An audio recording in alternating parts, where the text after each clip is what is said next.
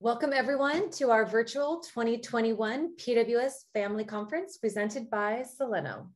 Today's session is one of my favorites of our conference programming. It really shows us as a community the opportunities that we have to help accelerate research and bring treatments to our loved ones with PWS. In today's clinical trials update session, we have presentations from six currently recruiting and upcoming PWS clinical trials. Each representative will provide you with a brief overview of their trial and eligibility criteria. As we have time, we'll have one or two trial specific questions for each presenter, but we will reserve the majority of your questions for Q&A, which will be held towards the end of the session. To begin today's session and provide you with a quick overview of PWS clinical trials, I give you FPWR's Director of Research Programs, Dr. Teresa Strong. Thank you, Susan, and thank you everyone for joining us today. Uh, we're really excited about the number of clinical trials that we have ongoing in the PWS community and the challenges that they're, they're addressing with these new potential therapeutics. What we're focusing on today is kind of the middle of this slide, the clinical trials, where we're taking drugs that have shown some efficacy in animal models or in cells with PWS. And now it's the opportunity to test them in individuals with PWS. And these go through a series of clinical trials uh, to get to the point where the company that is sponsoring the study feels like they have enough data to show that the drug is safe and that the drug is effective in addressing whichever challenge that drug is addressing. Um, and we'll give that information to the FDA seeking drug approval so that everyone in the community can have it. On the next slide, Susan, you can see the different phases of clinical trials. I'm just going to go through this briefly. My point here mainly is to point you in the direction of resources. So if you that you want to learn more, um, you, you know where to find things. Um, but uh, the trials that we're talking about today are uh, phase one, two, or three.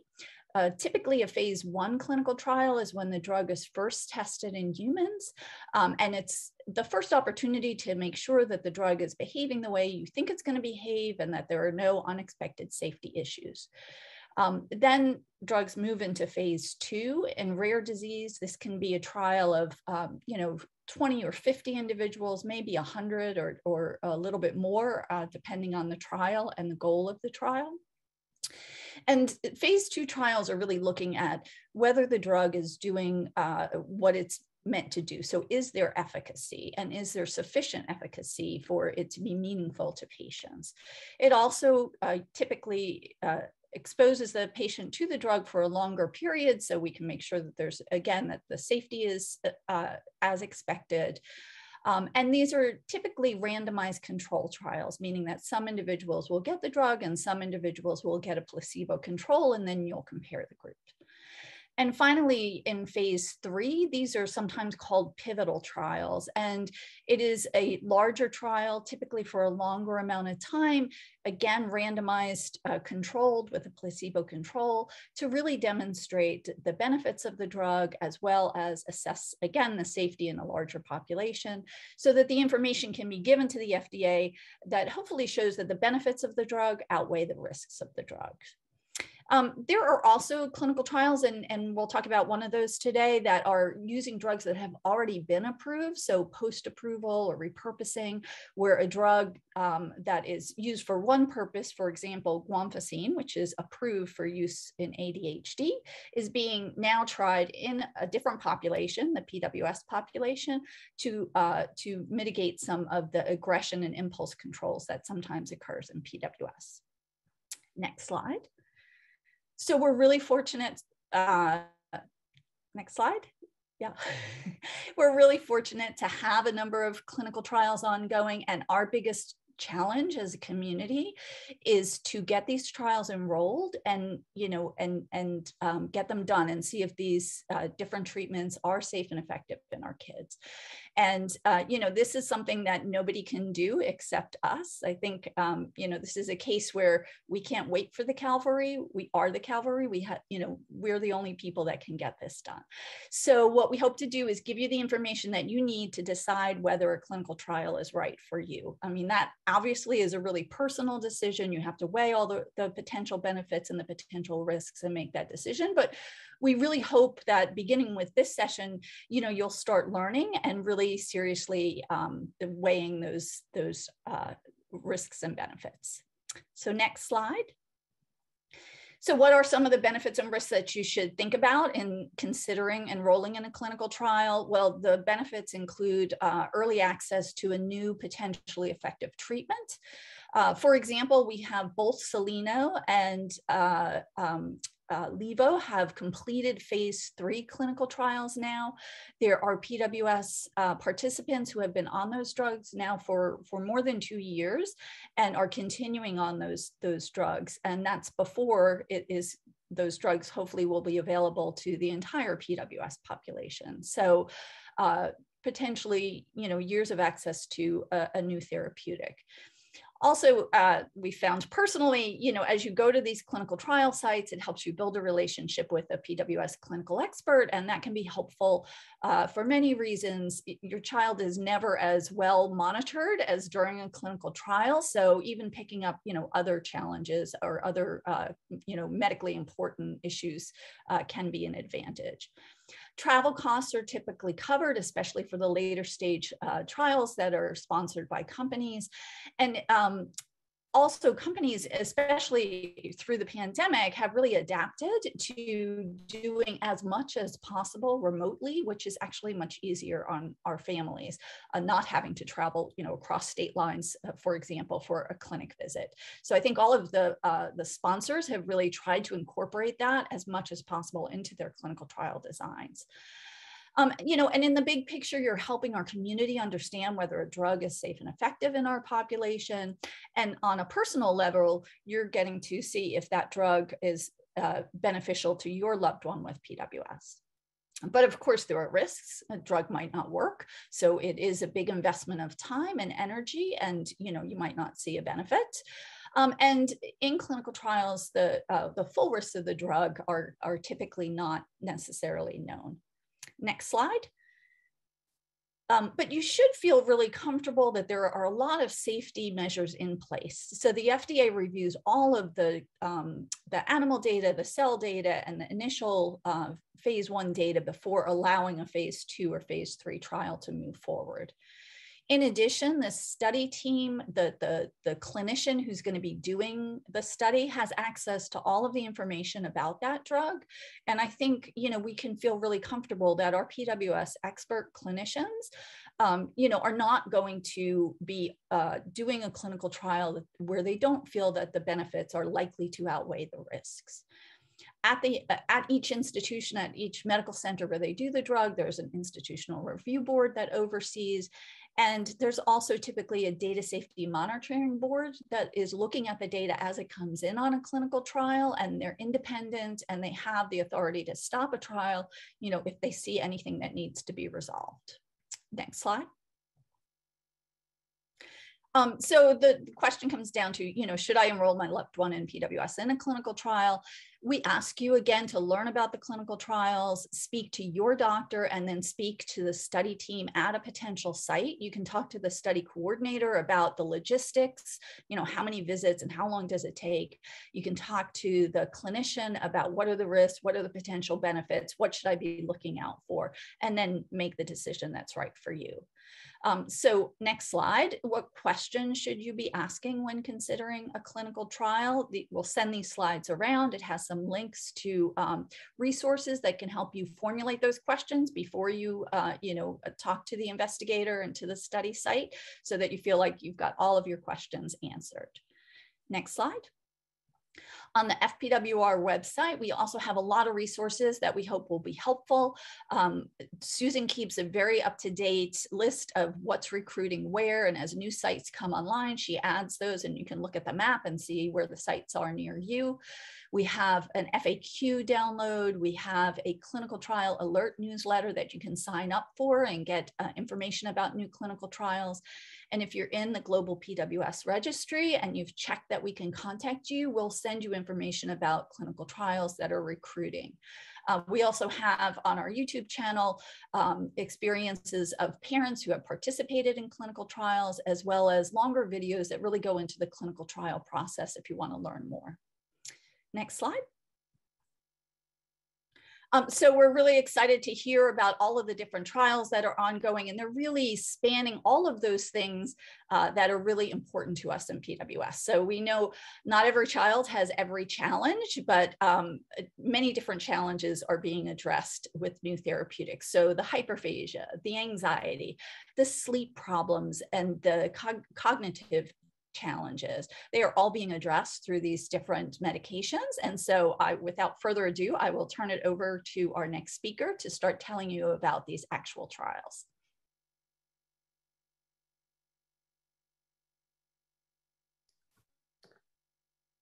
So I'm proud to um, introduce you today to Dr. Deepan Singh. He's going to be our first presenter. Um, he'll be discussing guanfacine, which is an FPWR supported clinical trial. Thank you, Dr. Singh, for joining us. Thank you, Susan. Thank you, Dr. Strong. And uh, thank you so much for uh, to FPWR for uh, sponsoring this study. Uh, I have, as many of you who've attended these conferences year after year, you might have heard about guanfacine extended release in uh, a couple of times. Uh, but uh, this is the first time that I'm presenting this uh, since we've actually started the, the study and we have quite a few patients already enrolled and uh, we are enrolling uh, as we speak. So let's go to the next slide, uh, just to review a little bit about what guanfacine is. So the whole purpose for this, uh, you know, for this, as you heard from Dr. Strong, this is the only um, uh, you know, medicine that we discussed today, which is already FDA approved. So this has a lot of safety uh, data, and it is FDA approved for the treatment of ADHD, which is a very common, the, the most common psychiatric uh, uh, disorder, which for which medications are needed in childhood. So it's obviously been around for a long time, and a lot of patients have successfully been treated with it. So uh, when I started treating patients with PWS over seven years ago, uh, I, I wanted to use something which does not affect the uh, you know the serotonin dopamine and the usual suspects in psychiatry because uh, i was uh, concerned about the potential side effects. And and that brought me to so that nar- narrowed uh, the scope of uh, medicines to something that is is a little different. So this uh, medicine actually works on the postsynaptic norepinephrine receptor. Long story short, it works by increasing the activity of the dorsolateral prefrontal cortex, which is the executive functioning, uh, you know, the chairman of the brain, so to speak, uh, which helps control impulses and reduce hyperactivity. Uh, and and uh, by reducing impulsivity in particular, um, it is, you know, uh, it has been shown to reduce uh, skin picking and, and self-injurious and, and aggressive behavior. So we'll talk a bit more about uh, some of the early studies that I conducted. Now, um, there, uh, as, as I mentioned, in addition to ADHD, it has also uh, evidence in working uh, for against ADHD and impulsivity and aggression in patients with autism. And as many of you would know, autism is commonly comorbid with uh, Prader-Willi syndrome. Let's look at the next slide. Okay, so this is, uh, you know, after my initial uh, about 27 patients that I treated with uh, with guanfacine, and this is a, quite a, a, few years ago, we noticed uh, a significant improvement in skin picking, aggression, and symptoms of ADHD. So over 80% of uh, patients with skin picking showed an improvement uh, over 80% showed an improvement in aggression agitation, and over 90% showed an improvement in ADHD, which was expected because it is an ADHD medicine. Let's look at the next slide. So what we are doing uh, now, now that we have that anecdotal evidence, now remember, this is an FDA-approved medicine. It's already available in the market. So, so why do we need to do the clinical trial? And what I realized that because there's so few psychiatrists who are familiar with PWS, their, their first line treatment, the first medicine that they choose, instead of choosing something like guanfacine, they would choose something like like an SSRI, something like Celexa or uh, escitalopram or Zoloft and things like that, uh, and which can be problematic because the, the, the serotonin receptor functioning and the neurotransmitter systems in PWS is very different from patients without PWS. So that, that causes side effects. So I can understand as a general psychiatrist who who would be unfamiliar with PWS, the first choices would be things like antipsychotics, which cause which cause a lot of weight gain, or stimulant medications, which can increase skin picking, or uh, you know antidepressant type medicines, which can cause cycloid psychosis in some patients with PWS. I mean, a lot of our patients, a lot of you all and, and your loved ones are on those medicines, and and they're sometimes there are good reasons to be on them.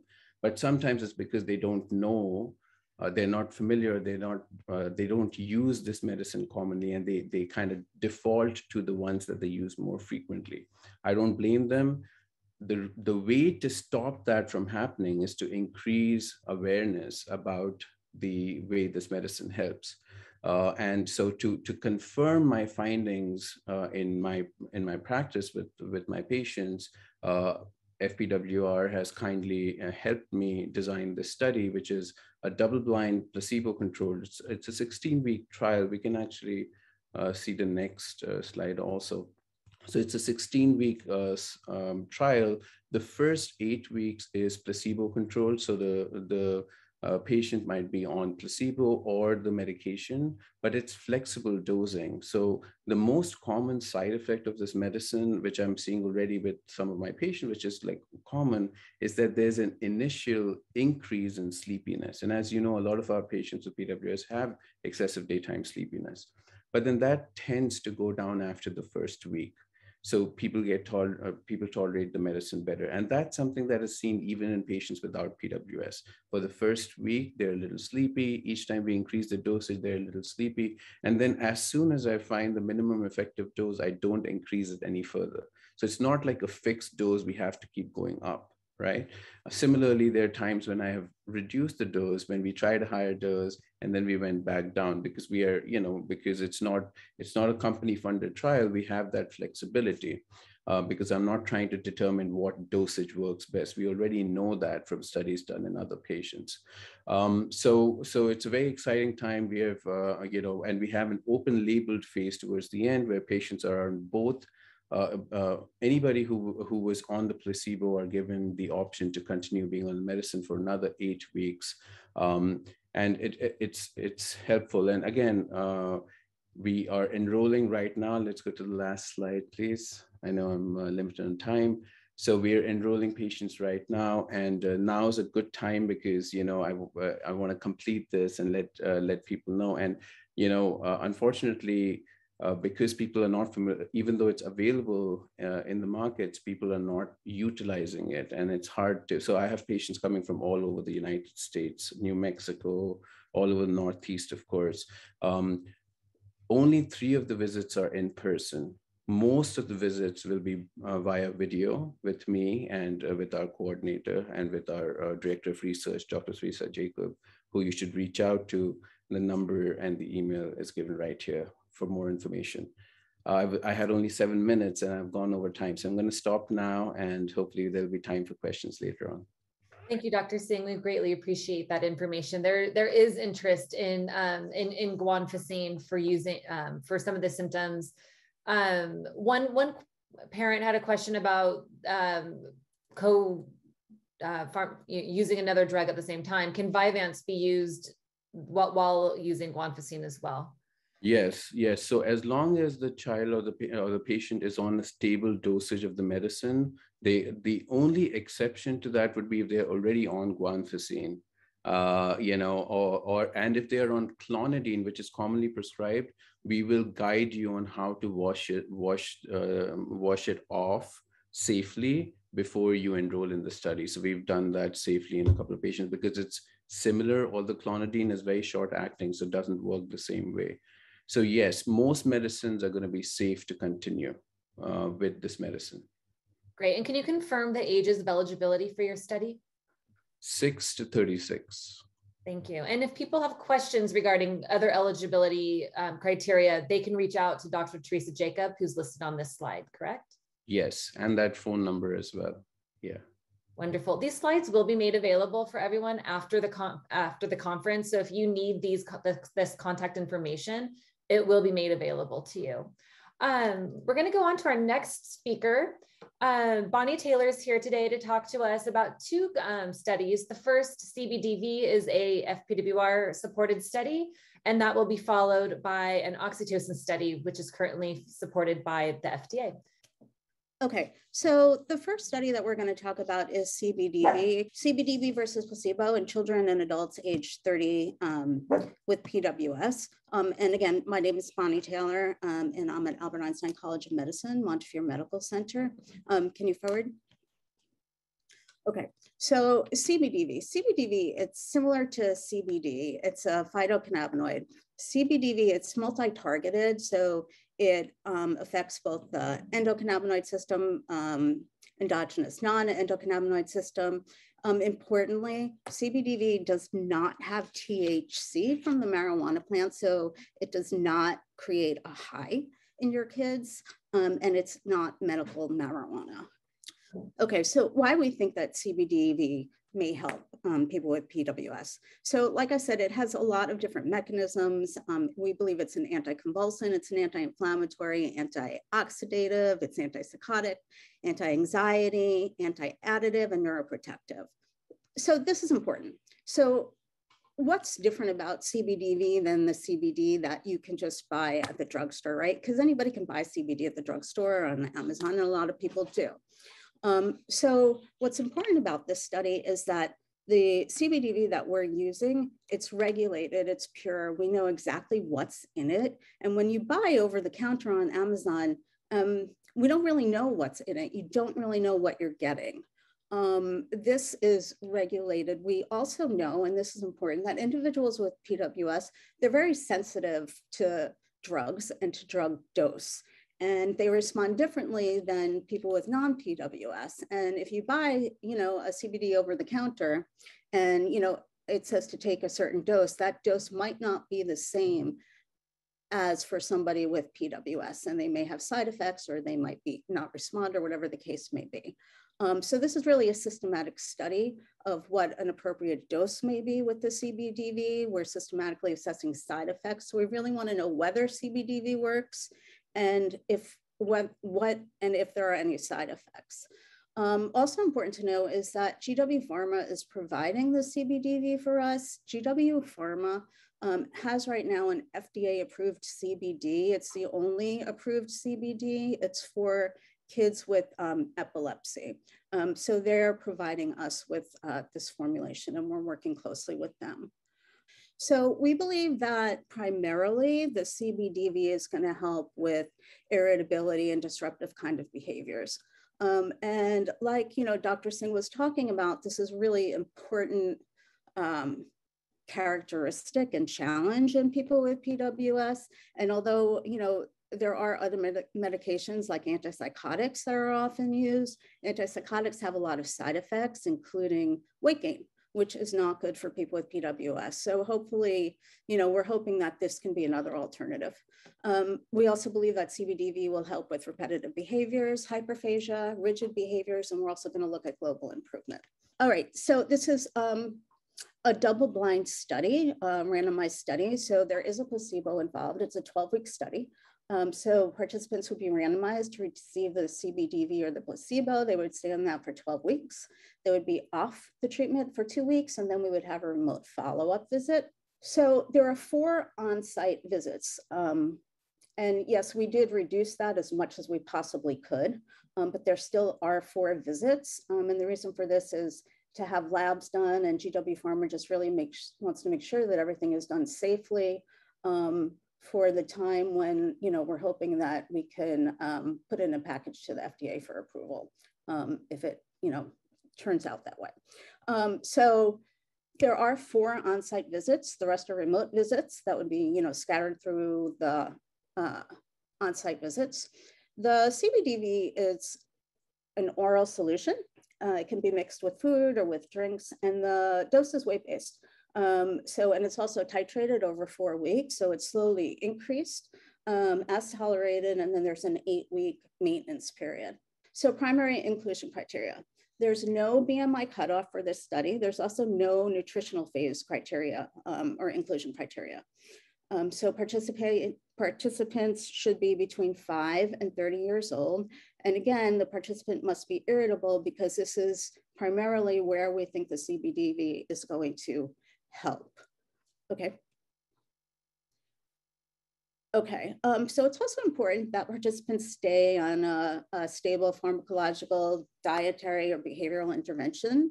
Um, and the reason for this is because if uh, a medication were to be changed and if there were behavioral changes during the course of the study, then we wouldn't know whether those changes were due to the CBDV or the other medication that um, the participant began taking. Uh, so it's important that everything remains stable in the environment. Also, physical labs uh, need to be within normal limits for PWS. Okay. Exclusion, exposure to any investigational agent for in the last 30 days um, before randomization, any chronic treatment with CBD or another endocannabinoid treatment, any primary psychiatric disorder other than autism, a history of drug abuse, a medical condition that may impact on participation, and abnormalities in the blood or ECG. Um, okay, so the second trial that we're doing um, is intranasal oxytocin versus placebo for the treatment of hyperphagia in children and adolescents with PWS. So why oxytocin? So in PWS, uh, the number and the size of oxytocin producing neurons in the brain are reduced. And in mice, those with those reduced oxytocin neurons tend to overeat to the point of obesity.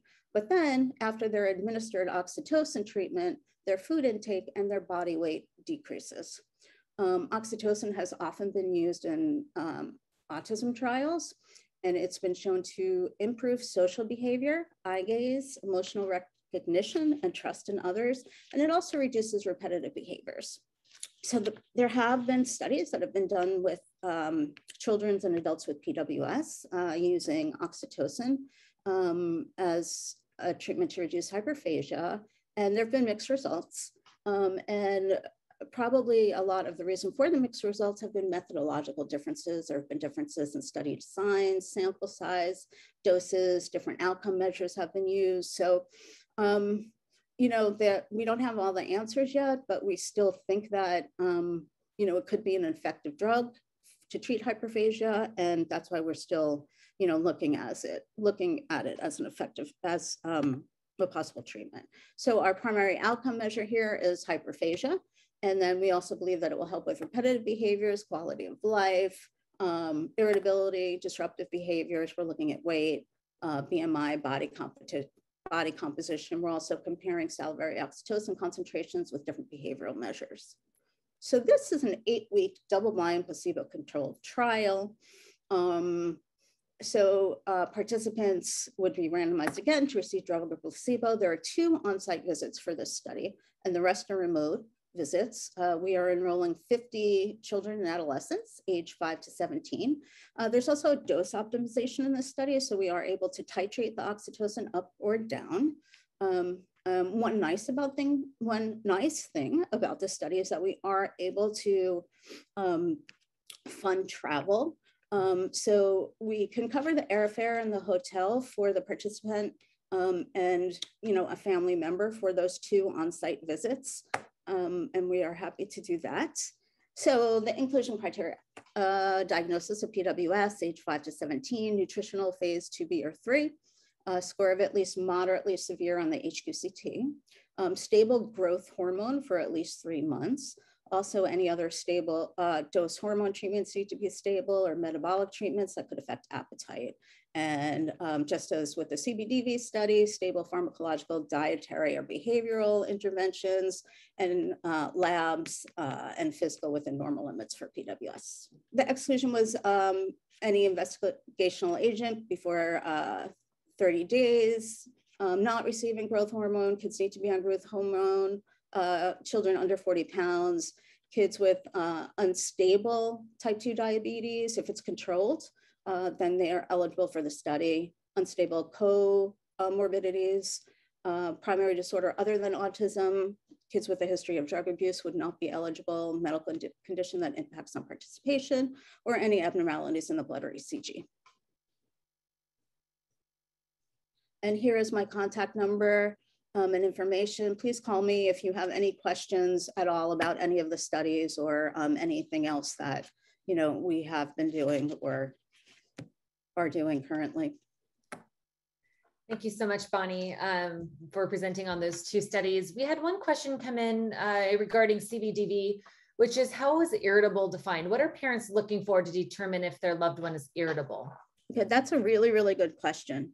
Um, so we would define irritability as having temper tantrums, um, becoming upset when they don't get their way, um, kids who um, are unable to cope with changes, kids who, you know, stomp away and get angry, um, kids who yell or scream a lot um, in inappropriate settings. So, and when you're thinking about all of these things, what's important to remember is that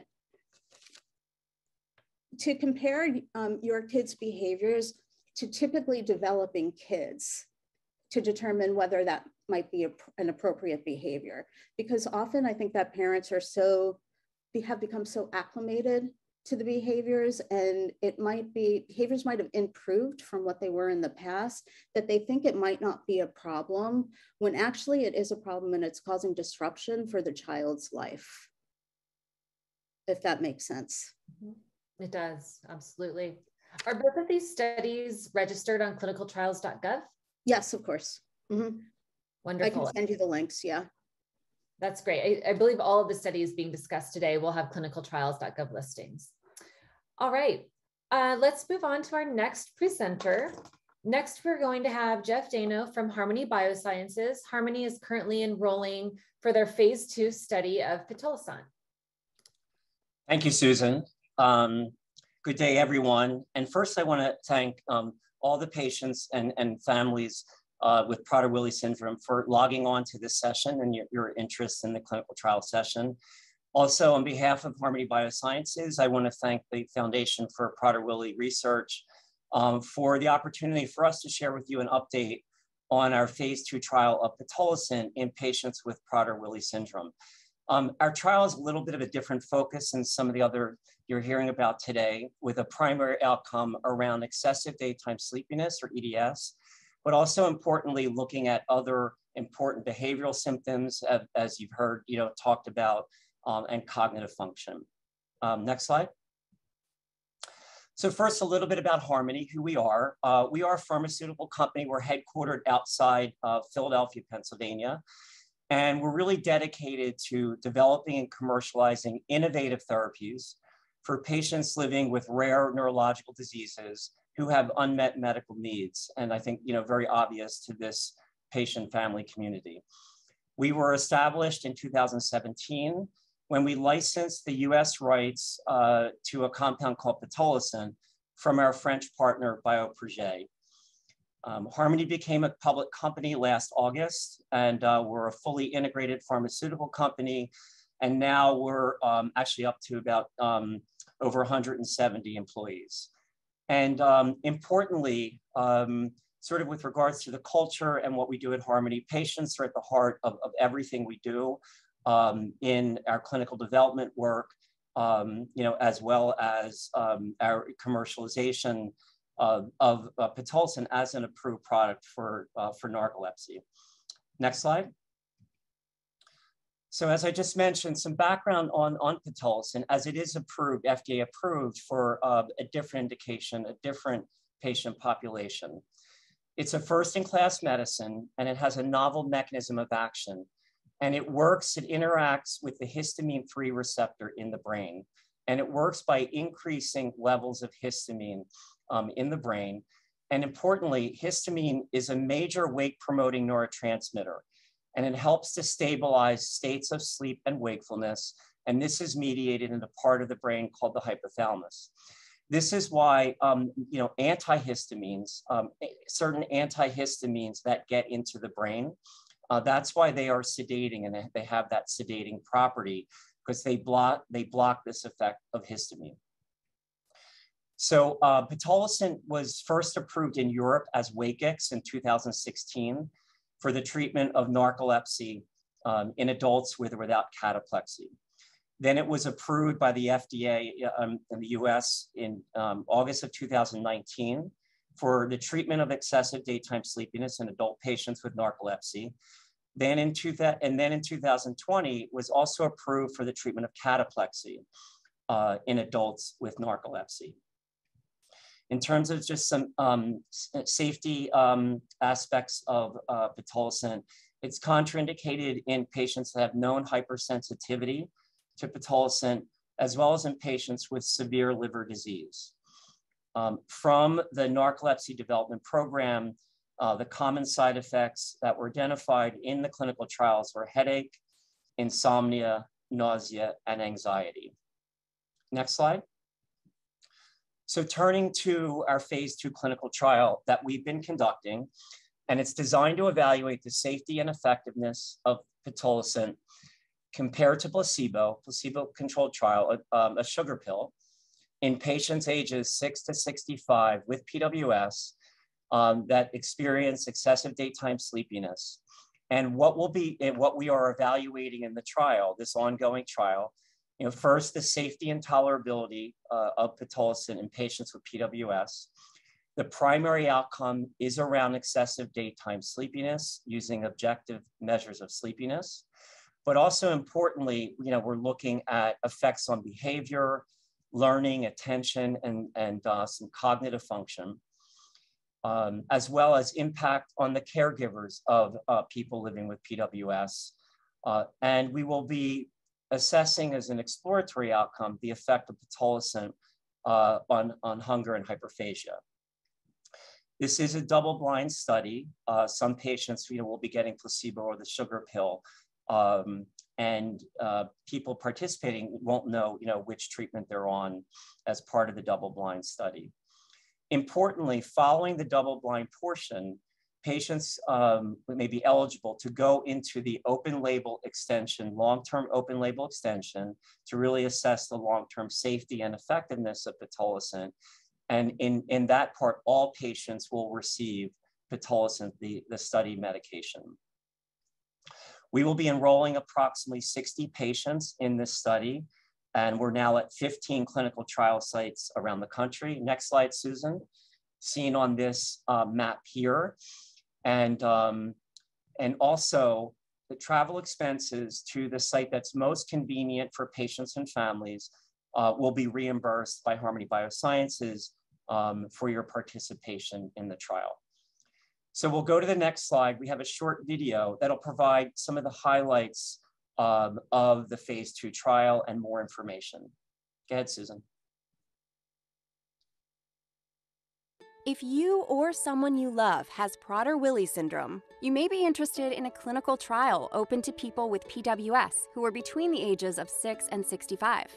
This trial will study the safety and effectiveness of an investigational medication and its impact on excessive daytime sleepiness, behavioral symptoms, and cognitive function. Clinics across the United States are currently enrolling participants, with more sites being added and travel expenses to the clinic most convenient to you will be paid for by Harmony Biosciences. So, what's involved? Well, that depends on whether you are the person with PWS or the caregiver. If you plan to participate, there will be five scheduled visits over the course of about four months. And if you're a caregiver, you'll accompany the person with PWS to each of the visits. For caregivers, your support and participation will be important. For example, the first visit involves an initial screening and the start of a two week sleep diary. Making sure the diary is kept up to date will be the responsibility of the caregiver. The second visit includes nighttime and daytime sleep tests to confirm that the person with PWS is eligible for the trial. If eligible, the person with PWS will start taking their assigned study drug once daily in the morning after waking up. This could be the investigational medication or placebo. The dose will be kept in a diary, updated daily. Making sure the diary is kept up to date will be the responsibility of the caregiver. The next two visits are to assess how the person with PWS is progressing. At the last visit, the nighttime and daytime sleep tests will be given again, and then it's time to consider whether to continue into the long term safety trial, where people with PWS will take the investigational medication and help researchers collect information. There will be no placebo during the long term safety trial. Clinical trials are essential for the development of new treatments to potentially help people living with PWS. And every clinical trial starts with volunteers like you. To learn more about this trial, you can contact Harmony Biosciences at clinicaltrials at harmonybiosciences.com. Great, and Susan, we can um, go to our last slide. So I just want to add um, also with regards to the, the clinic visits, um, as, as um, Teresa mentioned earlier, uh, we've also designed in you know, flexibility with regards to um, you know, remote visits and other aspects um, you know, into the trial you know, uh, for those visits. So I want to, you know, I want to thank everyone in, in the Prader-Willi community for your interest in this clinical trial session your interest in our phase two trial of pitolisant. And uh, if you would like more information or have questions about the trial, as you just heard, you can contact um, our study team at clinical trials at harmonybiosciences.com. And uh, on behalf of everyone at Harmony Biosciences, again, thanks to FPWR and the opportunity to provide this update. Thank you, Susan. Thank you, Jeff. We always appreciate getting your information. One quick question for families. Does your child have to fall asleep during the day? What, what is what is what is that cutoff to determine sleepiness for eligibility in this trial? So the, the cutoff is assessed by you know the the objective sleep test, what's called a multiple sleep latency test. Um, and in terms of you know the, the observation by um, the, the, parents or caregivers, um, you know kids being sleepy, but it's hard to you know, really know in terms of that level of sleepiness. So we use actually the, the objective test and then sub subjective scales. Um, but if there is any, you know, question uh, in terms of uh, their level, the child's, you know, sleepiness during the day, whether they actually, you know, physically, you know, fall asleep or just, um, you know, complaining of being tired or they're not, you know, they're not as active, um, and interested in the trial, that you know, then they should you know reach out, contact us, um, and from some of the pre-screening activity, you know, we'll be able to tell whether they potentially would be eligible and have a level of sleepiness to be eligible for the trial. Mm-hmm. And and related to the sleepiness, do you have to have evidence of narcolepsy? Um, no, um, you you um, you do not. I think that um, the more we learn about the sleep-wake instability in patients with Prader-Willi, you know, the, the thing is it's really multifactorial. Um, we know that some patients with Prader-Willi may also have a diagnosis of narcolepsy, which is a very different um, diagnosis and a, and a different disorder, you know, and there is some overlap. But patients do not have to have narcolepsy to be eligible for this trial. And that's, that's an important distinction. Uh, there are many uh, factors um, sort of in the brain and, and that can contribute to the excessive daytime sleepiness, which could also impact the behavioral symptoms. Um, that would be important, um, you know, to be evaluated and, and what we are evaluating in this trial um, to look at the effect of pitolisant uh, on the EDS, uh, you know, not, not just related to patients with narcolepsy as a, as a separate diagnosis. Wonderful. Well, thank you so much again. Um, Dr. Dayno will be available for Q&A at the end of the session if there's further questions for him. Coming up next, we are going to have a presentation by Dr. Elizabeth Messersmith. She's Senior Vice President and Head of Orphan of the Orphan Business Group at Radius Health. Hey, Susan. thank you very much. And thank you for the foundation for, uh, you know, getting us all aligned to present today. Um, I want to start with, I'm Liz Messersmith. I'm Senior Vice President of the Orphan Business Group at Radius Health. And Radius Health's primary focus as a biopharmaceutical company is to help patients by developing innovative endocrine metabolic therapeutics we are headquartered on, uh, in Boston, Massachusetts, and we were founded in 2003, and we became a publicly traded company in 2014. And we have approximately 300 uh, employees uh, associated with Radius. Our commercial product for osteoporosis is Tymlos. And this is a product that we're expecting to see continued growth over this next year. However, as we look at Radius, one of our primary corporate objectives for 2021 and the topic that I'm most excited to talk to you about today is advancing RAD11 in an upcoming clinical study for individuals with Prader-Willi syndrome. So what is RAD11? RAD11 is an investigational man-made synthetic cannabidiol compound, which has been assessed in over 150 patients across multiple indications. Now, it is chemically identical to the plant extracted botanical product cannabidiol. And there are several reasons for us wanting to utilize this synthetic formulation and manufacturing process. First off is that we can really have better control over the impurity profile of the chemical synthetic process. It's more easily uh, for us to control uh, from a synthetic perspective as it does not utilize any form of the cannabis plant. In doing this, we're able to have product yields with greater than 99% in assay purity and we exclude all those psychoactive substances of concern, such as THC, cannabinol, and dronabinol. In addition, we utilize the pharmaceutical manufacturing guidelines to meet the regulatory and quality con control requirements for pharmaceutical grade products. And finally, our RAD11 formulation does not contain any alcohol in the final product, which is something that we feel is really important in considering uh, the dosing age for this indication. The manufacturing process is scalable to support uh, market needs with supply chain consistency. Now we're studying um, RAD11 in Prader-Willi because there was previous data that we had acquired through an acquisition of the product in which it had been studied in seven individuals with Prader-Willi syndrome to evaluate hyperphagia.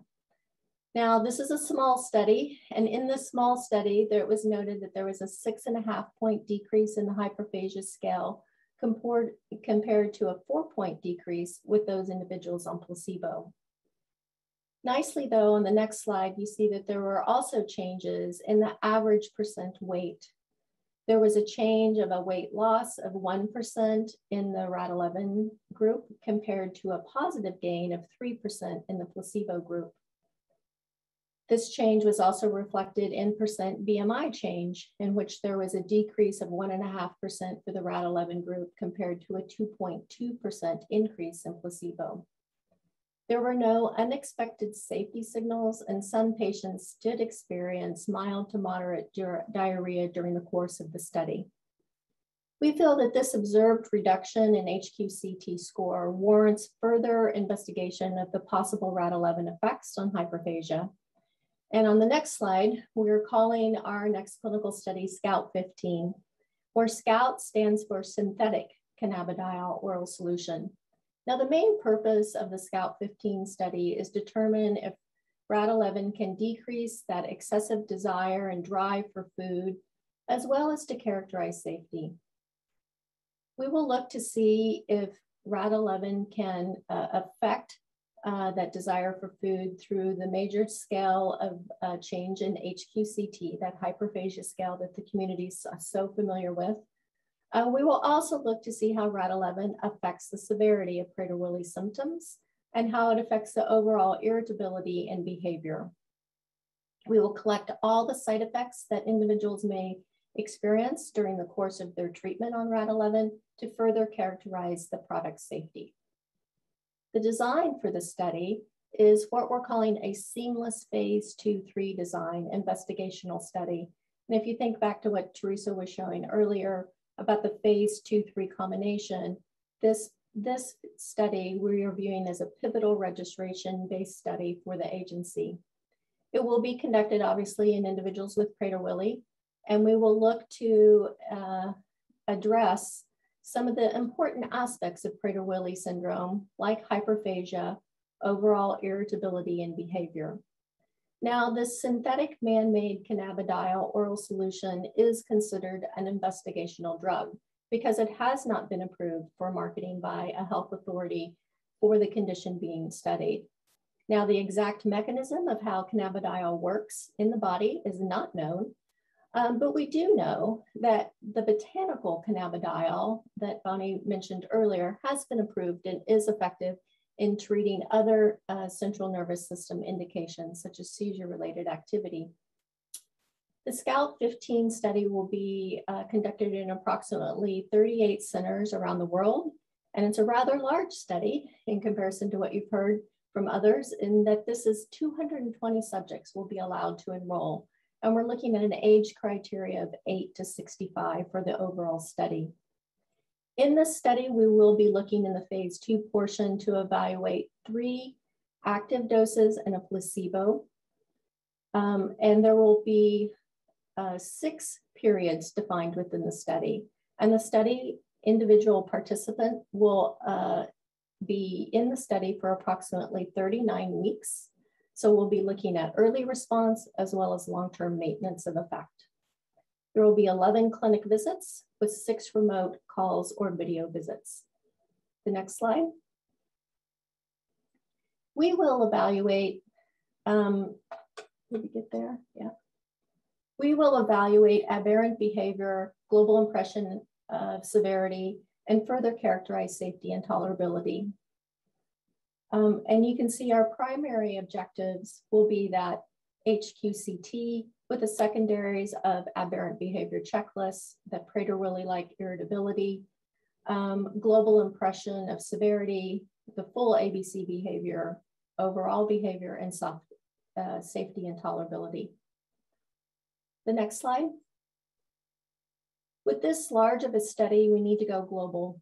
So the Scout 15 will be a global study with participation opportunities in North America, the United Kingdom, Australia, and select countries within the European Union.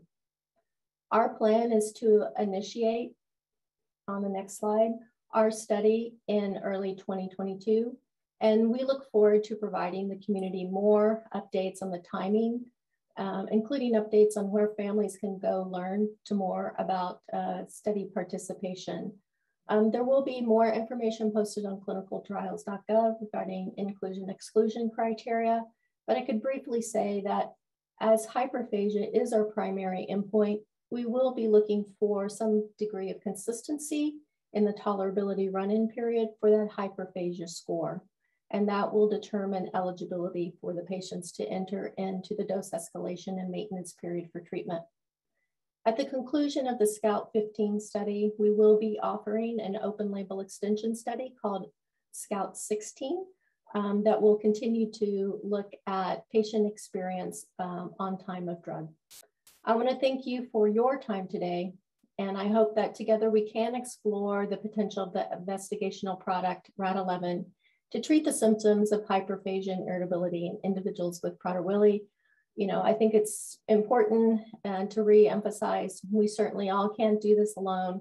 And I think we're all in this together to affect change. Thank you. Thank you so much, Liz. We do have a question regarding sweetener that's used in the product. What type of sweetener um, is, is in the formulation? Yeah, so um, we use a saccharin-based sweetener, which doesn't, which means that we don't have to use um, uh, sucralose. And uh, the Epidiolex formulation has a different type of sweetener, which is one of the reasons why we don't need to um, uh, have alcohol in the final formulation. Mm -hmm.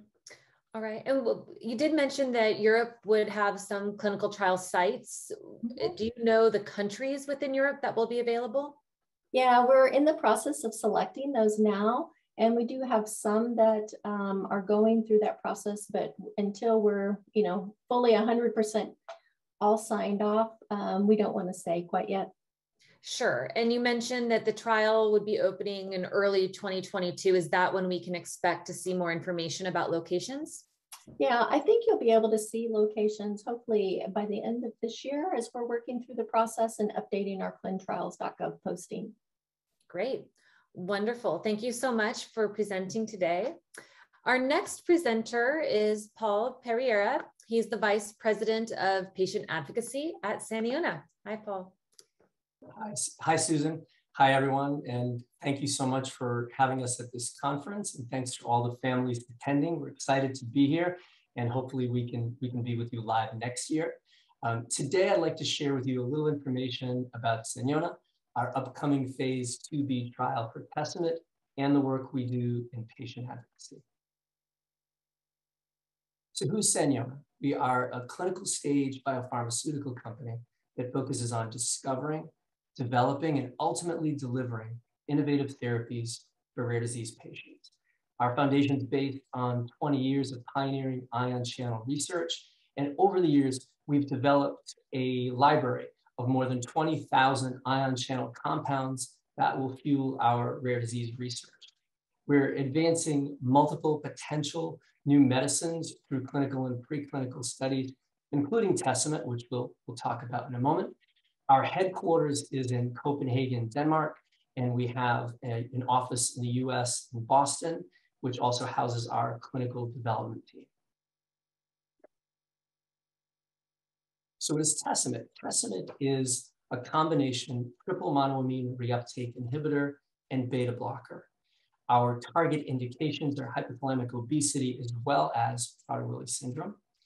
And Tesomet works by targeting the reward and appetite centers in the brain through increasing dopamine, increasing serotonin, and increasing noradrenaline to ultimately decrease food craving, decrease appetite, but increase metabolic fat burn. Next slide, please. So here's our proposed clinical trial overview for our phase 2B study. So this will be a double-blind, randomized, placebo-controlled, multi-center trial.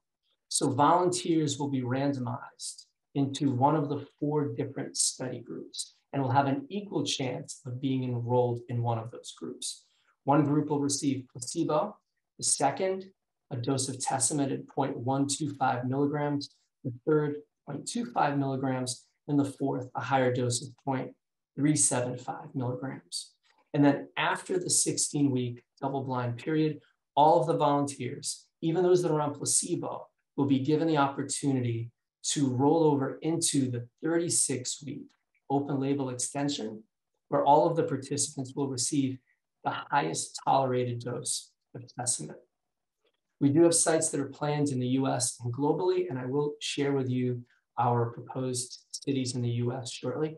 And our primary endpoint will be change in, um, in uh, appetite through HQ-CT scores.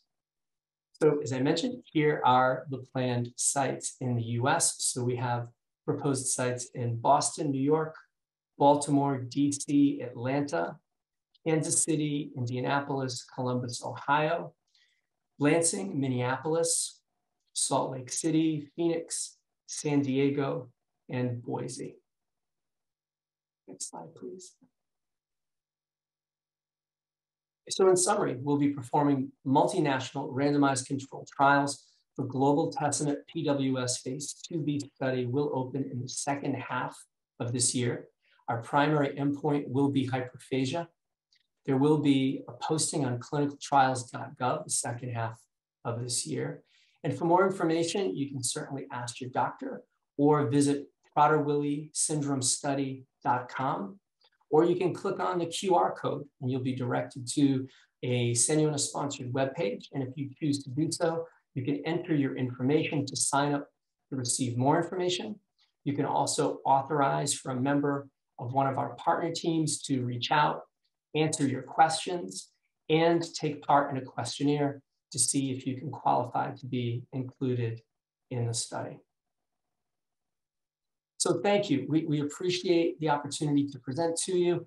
And uh, over the last year, your insights as a community has been so helpful to help shape our development program and even developing who we are as a company. And we'd love to hear from you. If you're interested in sharing your story with us, please reach out to me directly. Is my email below, paul.pereira at saniona.com. Thanks. Thank you so much, Paul, for that wonderful presentation. Can you tell us the difference between a phase 2B study and a phase 2 study? Sure. So, I mean, it's essentially a phase 2 study.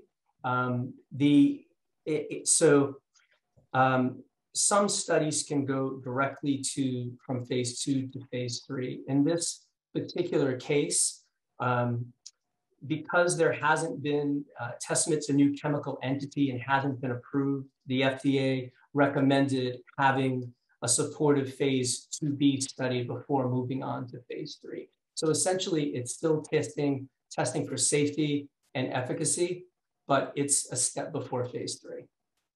Thank you. And has this, um, has Tesomet been trialed in patients with PWS before? It has. There was an initial phase two uh, clinical trial where Tesomet was generally well tolerated. It produced a statistically significant reduction in hyperphagia and a reduction in body weight in adult patients, as well as dose-dependent improvements in hyperphagia and body weight in adolescents. Wonderful. Well, thank you so much. Again, Paul will be um, available during our Q&A for any additional questions. Next, we have our final presentation for today. Um, Andres Netheimer from uh, Aardvark Therapeutics is here to talk to us a little bit about their clinical trial. Oh, this is Andres. I thought um, Dr. McCandless would present. My apologies, Dr. McCandless. Uh, no worries. Uh, I apologize for those of you who are looking forward to hearing Andreas talk, but hopefully I'll be able to share um, as one of the uh, one of the investigators in this study. I, I'm going to tell you a little bit about a novel, a completely novel approach to targeting the appetite and, and hyperphagia in Prader-Willi syndrome uh, by um, antagon or by uh, by using a, a, drug, a new compound that um, targets the bitter taste receptors. And the, the sponsor is Aardvark, and the product is ARD101. Next slide, please. The uh, the the idea behind this, and you can see this picture here of the of the in, of the intestinal system the idea behind this is that there are bitter taste receptors not only on the tongue, but throughout the entire intestinal tract.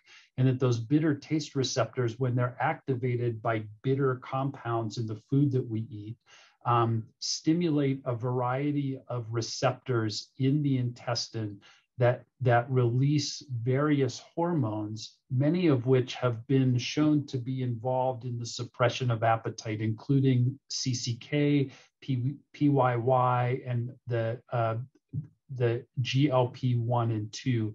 And, in, and so these the idea is that by stimulating these receptors throughout the intestine, you will be able to uh, increase the concentrations of these hormones that the gut releases that are known to suppress appetite. And in fact, in normal volunteers and in animal models, that's what's been seen, as I'll show you in a minute. Because these the compound itself is one of the most bitter tasting compounds known to man, it has to be formulated in a way where when you take it by mouth, you don't actually taste the compound until it reaches the stomach and the intestine, and then the active compound uh, which is this denatinium acetate, is released. Um, as I said, in clinical studies, it not only affected hyperphagia, but also um, appeared to be active for obesity, diabetes, and, and hyperlipidemia, and and uh, good safety, uh, good safety in the in the phase one trial, and um, and again, uh, this will be the first trial to to try it in people with Prader-Willi syndrome for both efficacy and safety. May I have the next slide, please?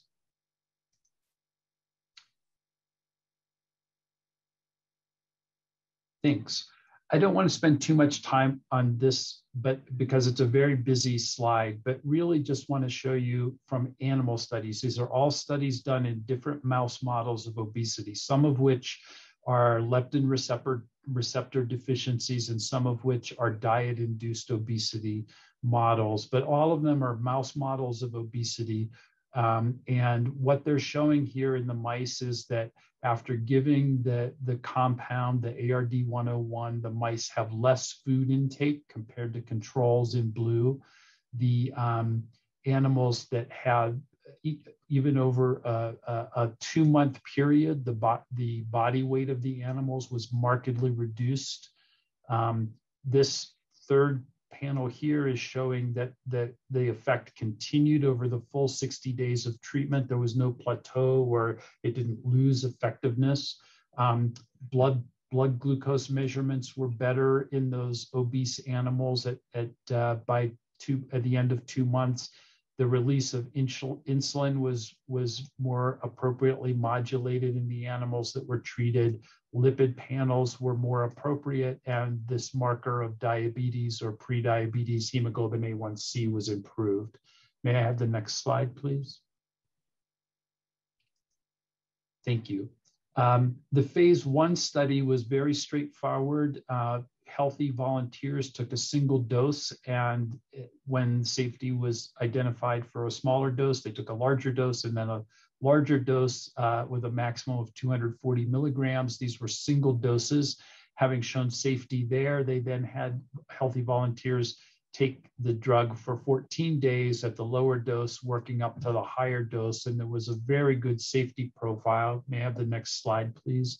Um, a very good safety profile, even at the high at the highest dose, 240 milligrams twice a day for two weeks. There were no serious adverse events noted, and the uh, treatment emergent adverse events that were noted were very mild, mostly GI, um, a, a, couple of skin rashes, but mostly very mild and self-limited. There were no clinically significant findings or changes in laboratory evaluations.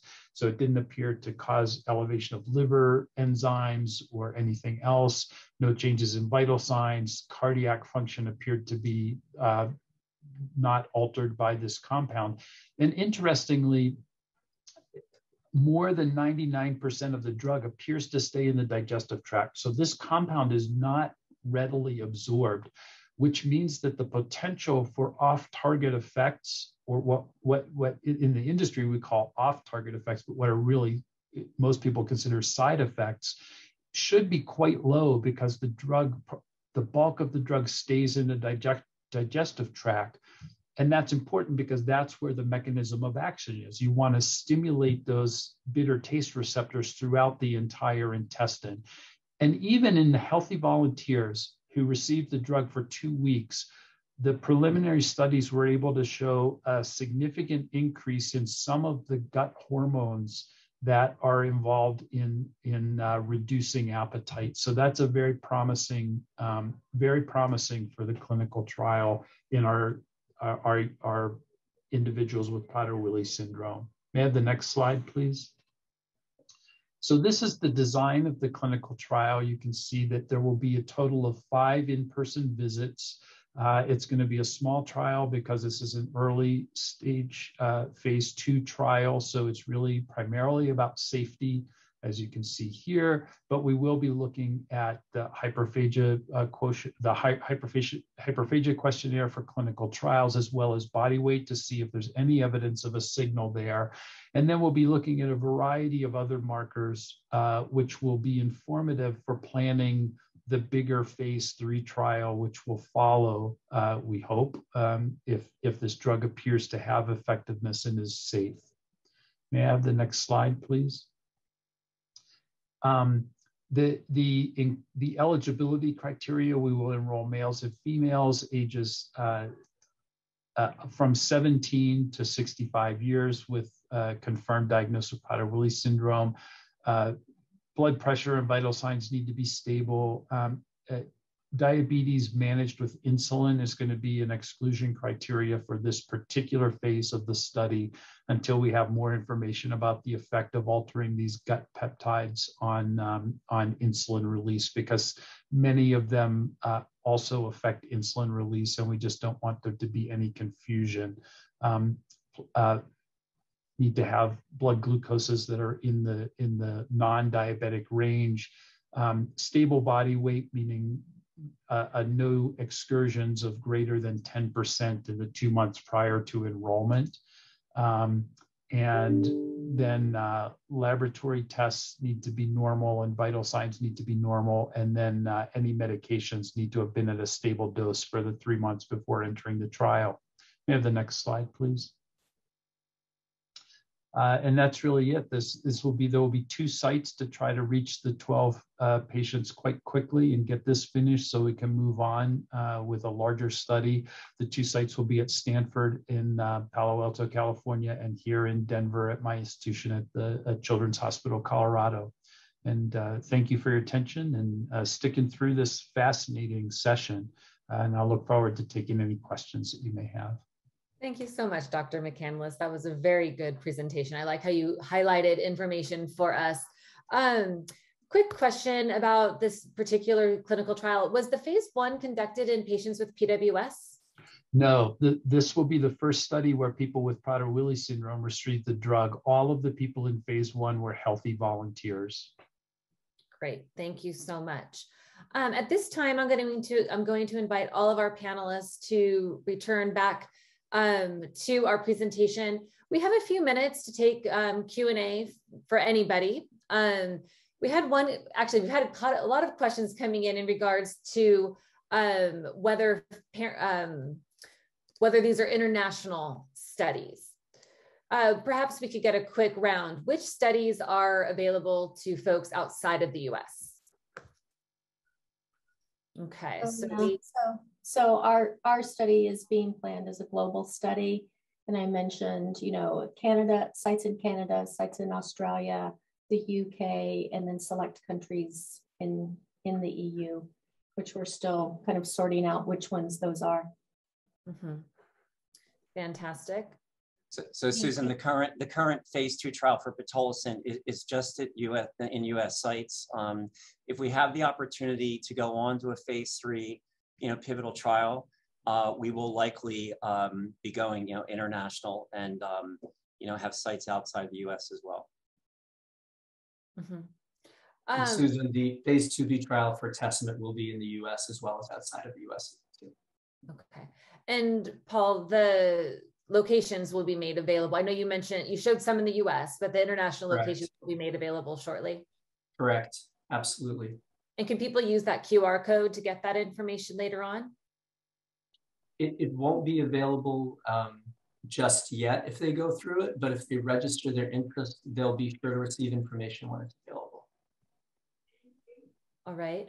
What about Canadians? If they wanted to travel down to the US, are they eligible to participate?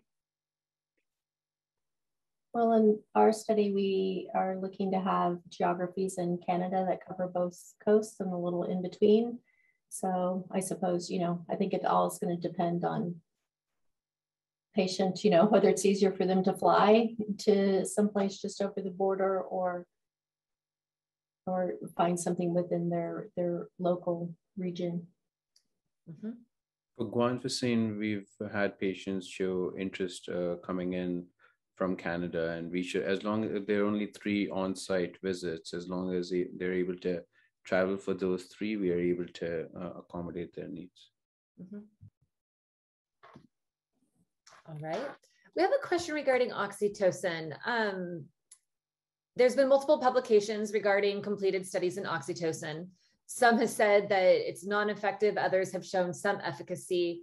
Why is it believed that oxytocin could be effective in this case, Bonnie? Yeah.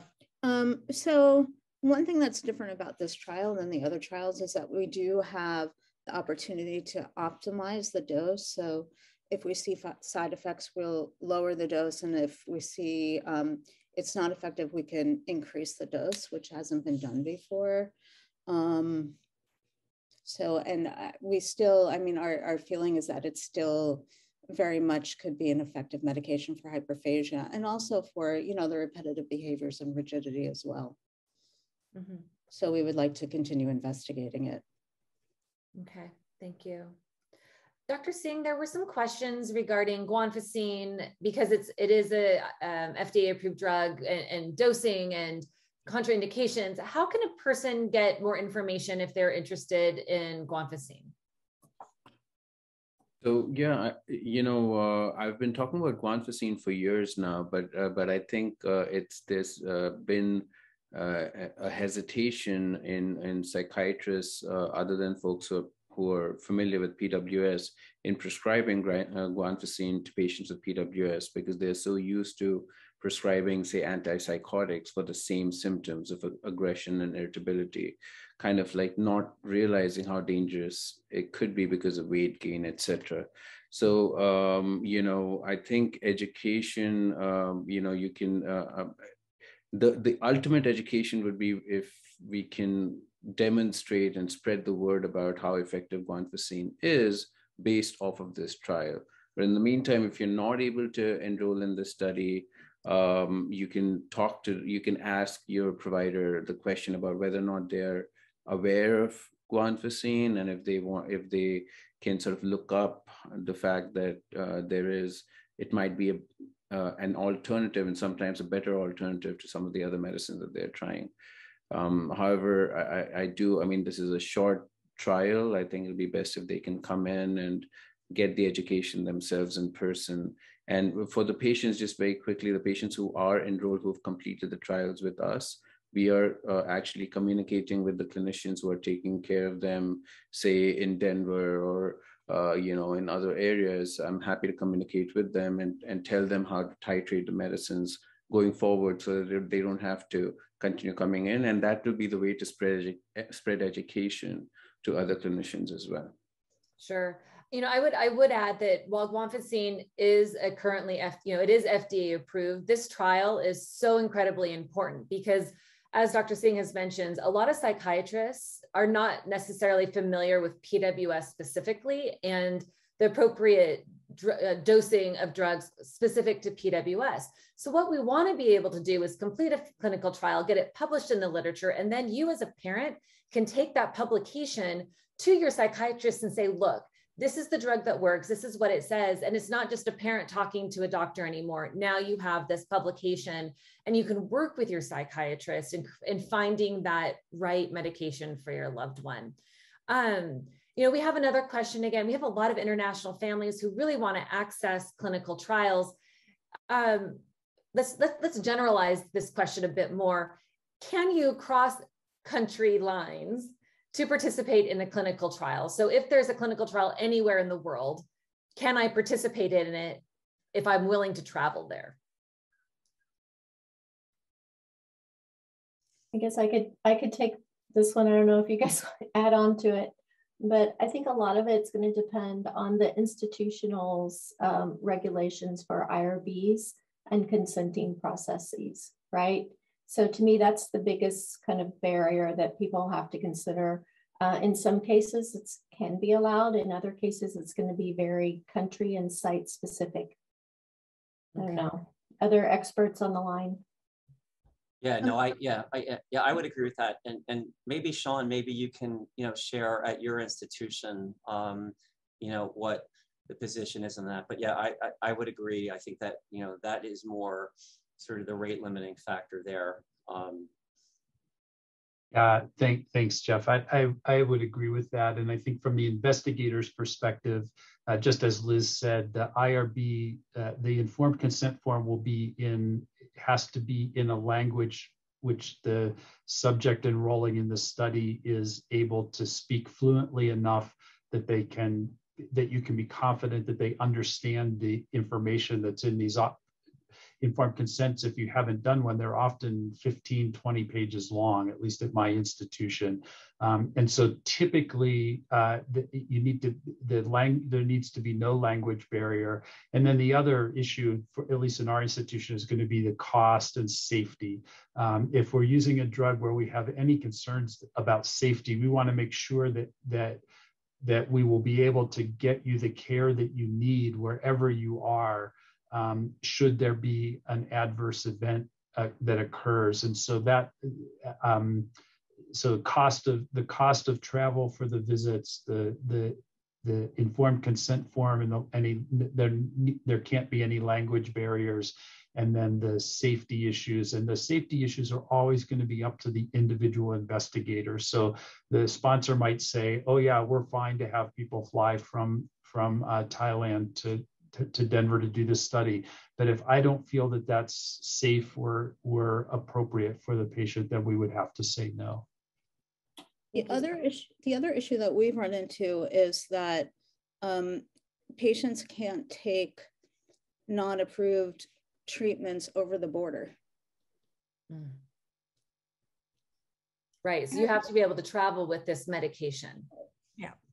I think this points to the the value in if you're interested in a clinical trial in contacting the site that you're interested in going to and having that discussion. So I would you know, I mean, I think it's great for all of our international families to be interested and hopefully many of them will have opportunities if not in their own country uh, in other countries, but it but as you can see, it's quite complicated, and so there'd have to be a lot of planning, and that's where a, a, good discussion about logistics as well as these issues around safety and care in your home country, for example, would need to be addressed. But I would just encourage families to, you know, to do that homework and see if it is feasible uh, and if it makes sense for them. Absolutely, and Teresa, great lead way here. Um, if you're looking for more information or you're interested in participating in a clinical trial, we really encourage you to do some homework and um, check, you know, get some more information. I've included on this slide the link to our clinical trials directory. It's also been shared in the chat. These slides will be made available to everyone after um, today's presentation. But in this directory, it has, you know, some very simple information as far as eligibility, um, locations that the trial is taking place, and of course, contact information. If you're interested in a trial and you have information, please, or if you have, if you're interested in a trial and you have a question, please reach out to the contact individual for the study that's listed in the directory or go to clinicaltrials.gov um, and contact them. They want to hear from you. They want to answer your questions. Um, and of course, if you're eligible, we want to get you into these studies because frankly, it's it's on us um, the members of the PWS community to get these studies enrolled and to do so as quickly as possible. This is how we're going to get treatments for our loved ones. Um, so please share this information with everyone um, and if, if eligible, participate as well.